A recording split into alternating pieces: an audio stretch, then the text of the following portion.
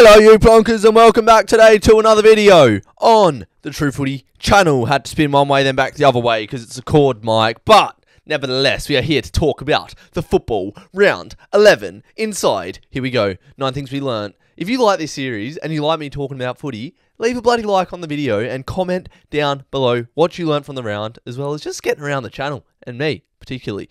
Subscribe if you're new, because why the hell aren't you not? True Footy is the best footballing platform for football content in the AFL YouTube scene. You know how it is. Let's go with the nine things we learnt from round 11. That's not two, that's 11. Number one, Sydney get a vital four points. The footy world and Carlton. Friday night footy, Sydney versus Carlton. A season ago, you'd probably say this is a massive game between two really good sides. But at the moment, it really isn't. Sydney are in pretty average form. So to get four points in this game was massive for them because everyone knows that Sydney have it within them to hit form and then be a really hard side to stop. Just need to get some players back into the side and it could all click for them. And Carlton, obviously, last year they were decent. And now they're just absolutely dog shit. Some of the runs that the lizard Nick Blakey was doing off half back are insane. The way the man runs, bro, it's crazy. He was one of the best on ground. And yeah, as I said, Sydney, important four points.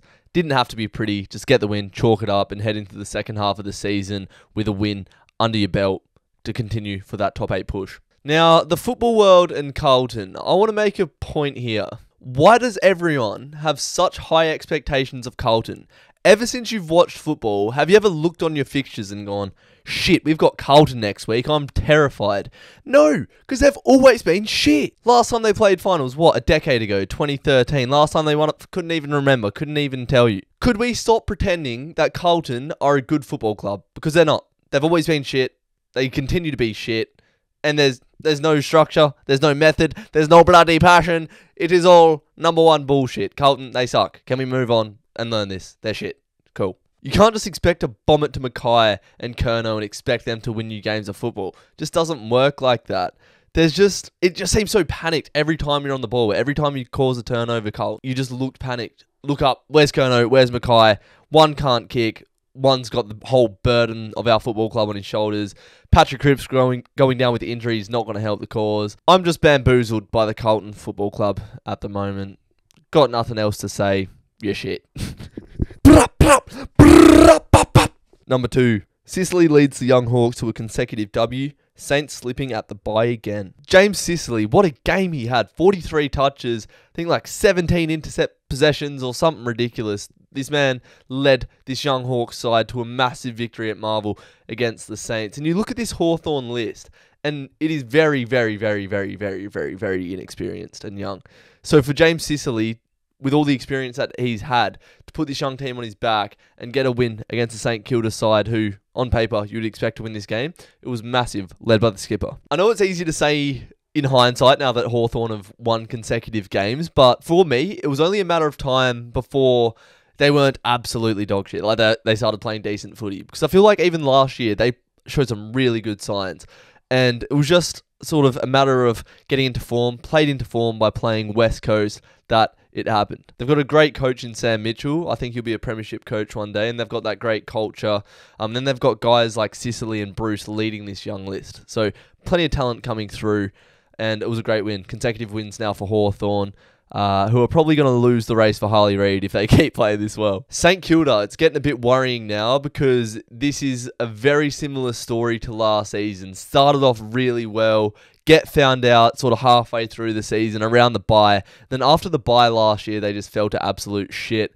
I'm pretty sure in the last like seven weeks they've gone win loss win loss win loss, something like that, something like that. I don't know my maths, but yeah, the form from earlier on in the season is far gone for St Kilda. Ross Lyon needs a plan B because right now the plan A has been figured out. Teams know how to beat it, including Hawthorn, who a few weeks ago were considered one of the worst teams in the competition, while St Kilda were considered one of the best. And their form is absolutely dropping like a bloody bowling ball, mate. Figure it out, St Kilda, quick. Number three, Freo are the dogs' bollocks. How good are the results this week? Carlton lose, St Kilda lose, West Coast lose, Gold Coast win, Freo win. Happy days. If you're a fan of Freo, this round was fantastic. And I know people in the comments are going to go, oh, Freo bias, Freo bias. Yeah, yeah, go on, say it. because I am. Because I, I bleed purple. We went toe to toe with Melbourne, who are one of the better sides in the competition. I'm not saying the best, but we played them at their own game. Really high pressure, move the ball fast by hand, stoppage dominant.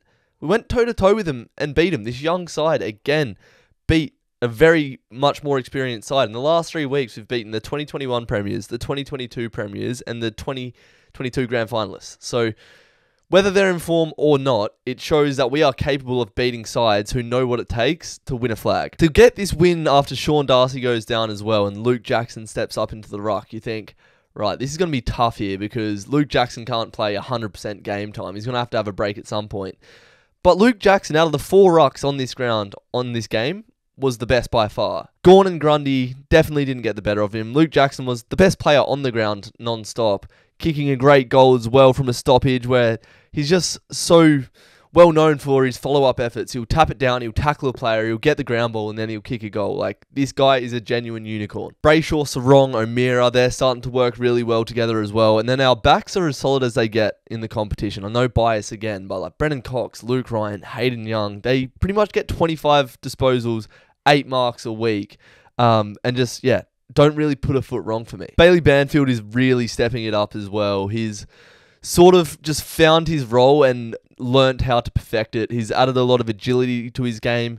He used to be like a very straight line runner, or he'd always take the long way around. Now he's sort of learning to step players, use the space, um, and his vision to hit up forwards is a lot better as well.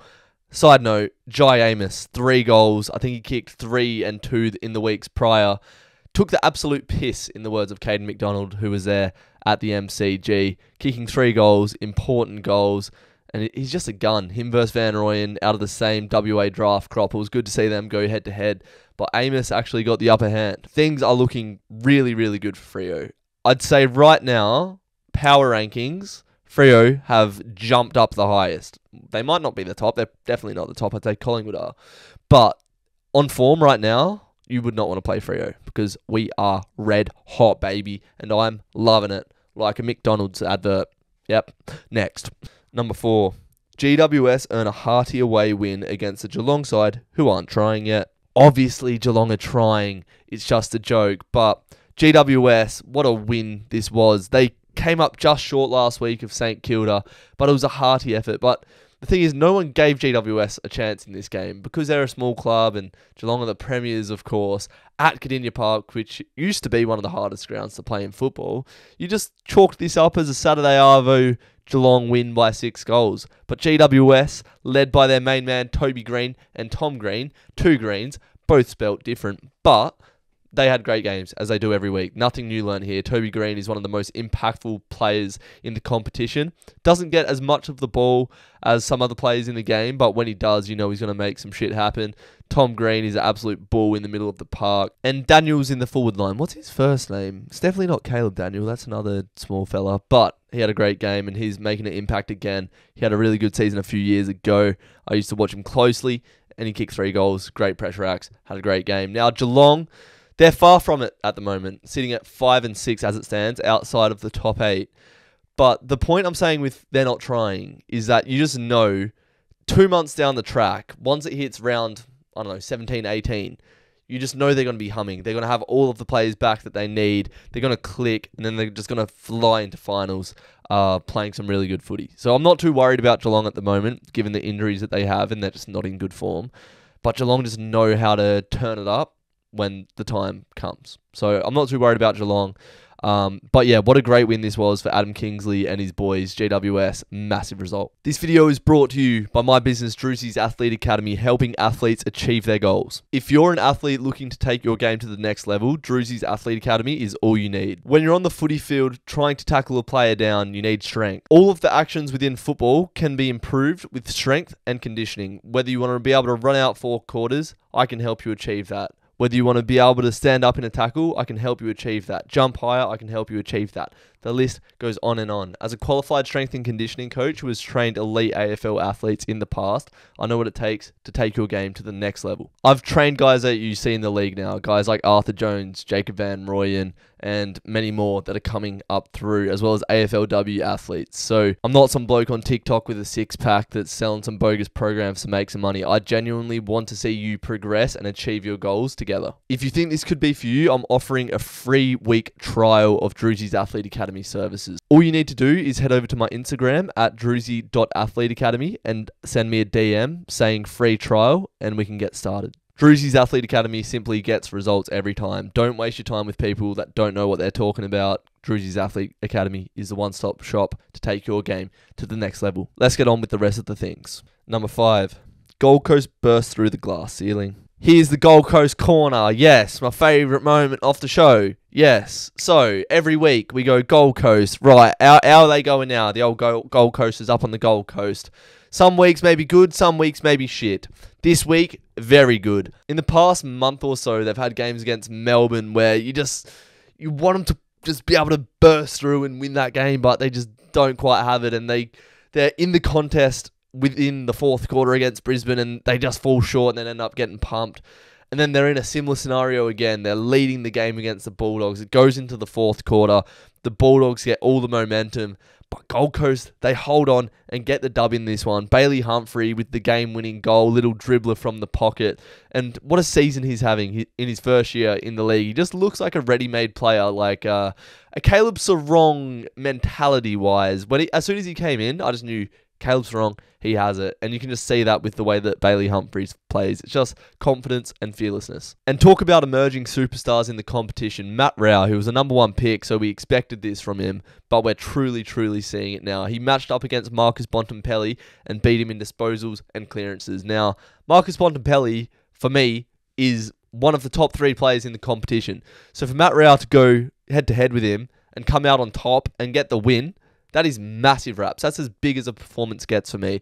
Keep eating that grass, Matt Rowell. You're doing great things. And Gold Coast, keep getting these wins. Keep building into the season.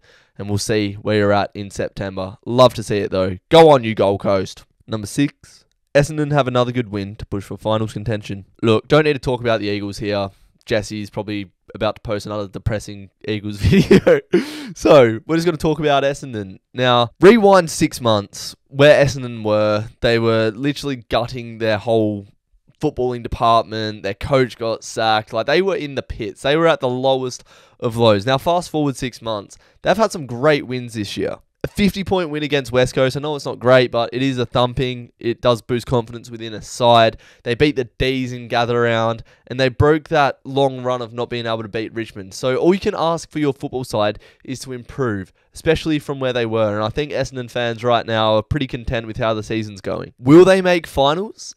In my opinion, no. Even though they have a easy-ish run home, you've got to fit Freo, Geelong, and Sydney into the top eight and I think out of those four, Essendon are just not as strong just yet. Bias, I know. It's just an opinion that some fella said on the internet. You don't need to get upset about it. I could be wrong. Essendon could make finals and Freo could finish in the bottom four. I don't think so, though. The fact is, Essendon keep improving. That's all you can ask. Brad Scott's done a great job, in my opinion.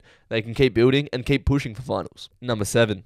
Port are an anywhere, anytime side. In the past few years, the footy world has been pretty critical about Port Adelaide's away form, and fairly so. Like, when they were that top four side, that side that was sort of pushing for prelims and getting into prelims, it was always their away form that was letting them down. Like, going away to Brisbane, playing at the MCG, they just couldn't really sort of get that last piece of the puzzle to make them a genuine threat to win the premiership. And I think they have that now. To beat Sydney away, to beat St Kilda away, to beat Richmond away, to go along with their impressive home wins against Melbourne and Brisbane at home. You've got to say right now, Port Adelaide are one of those anywhere, anytime sides, which is exactly what you need if you are trying to win a premiership. And I think that is that is the missing piece of the puzzle that they didn't have a few years ago when they were pushing. Now maybe they're a different sort of list from that time. You know, guys like Robbie Gray have gone and and others that slip my mind right now. But with the talent that they have and the current form they're displaying, there's no reason that this can't be another year where Port are playing for a spot in the grand final. I think the ceiling of Port Adelaide is very high right now. I rate them massively, as everyone should. They are yeah, playing some really good footy, plenty of talent. Butters continues with his great form. Finlayson just looks properly settled into this side, and they're hard to play against again. I'm keen to play Port Adelaide. That'll be a good matchup. But yeah, anywhere, anytime, Port Adelaide will put up a fight as it stands. If they can continue this mentality throughout the rest of the season, there's no reason they can't play in a prelim in 2023. Number eight, I've learned everything about Collingwood. Right, on this show, ever since it started at the start of 2022, Collingwood have been a good side. Now, I'll come on here, I'll talk about, God, Nick Daicos is good. God, Jordan De Goey, God, he's a bit of a fire starter, isn't he? He's a, he's a pretty good player, can kick the footy pretty good. God, how exciting a like I've said it all about Collingwood at this point, and when they go to Marvel and beat North Melbourne by like six goals or whatever, whatever, like what do, you, what do you learn? What do you actually learn? I learnt nothing, and I didn't watch the game, and this is lazy analysis. Next, uh, number nine, Adelaide are making waves fast. Did watch this game. You don't have to worry. What a performance this was from a young Adelaide Crows side. I think that Brisbane have the most stacked list in the competition. And I was speaking to Caden yesterday before this game and said, I reckon Brisbane are the favourites to win the flag. And they still could be. But I make that point to say this Adelaide are making massive waves in the competition right now. We know that they bring the fight and the hunt, but it come to a different level in this game. Like every time they got shit from a Brisbane player, Adelaide players all on him give him a pushback. We're not taking your shit. We don't care who you are, what players you have on your list. We want it more. And they simply wanted it more in this game. The will to win. The goals that Rachele and Izak Rankine kicked were taking the absolute piss.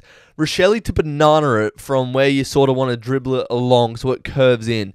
He just bananas it, just puts it exactly where he wants it. Rankin throws it on his left foot over his head, just perfect snap insane goals. Darcy Fogarty as well.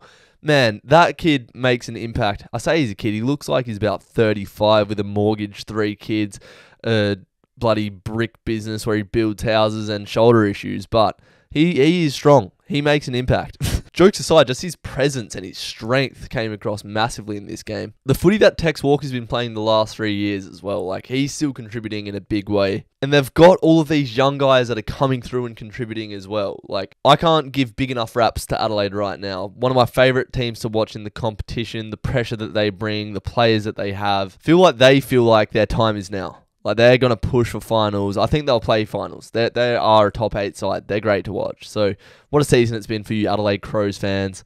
Great football being played, beating a massive opponent in the Brisbane Lions who are more experienced and probably have more quality on the park. But you believe in your method, you back yourselves in, and you get a win. And you've made Adelaide Oval a fortress as well. So big raps to Adelaide Crows. And that's going to wrap up nine things we learned for round 11. But before you go, please just click that thumbs up button because what it does is it helps True Footy out in the algorithm. So click like and then you can go and comment down below. That helps as well. It'll probably just ask too much of you. This could potentially be the last nine things we learned that I record in the next two months. So, so if you enjoyed this series, thanks. No, but I'm traveling Europe for the next two months, so it's just going to be virtually impossible to record these every week. So I hope you've enjoyed it up to this point. I will be back talking about football at some point. If you want to see me continue to make videos, I'll be dropping lots of travel vlogs in the next two months. So keep your eyes peeled on the Drewzy channel for some funny, good content of me and my brother having the time of our lives. But if not, keep it locked to the True Footy channel and support Jesse. That's all I have to say. I won't waste any more of your time. I appreciate you watching, and I'll see you when I'm looking at you. Until then, take care, you plonkers. I just had a voice break.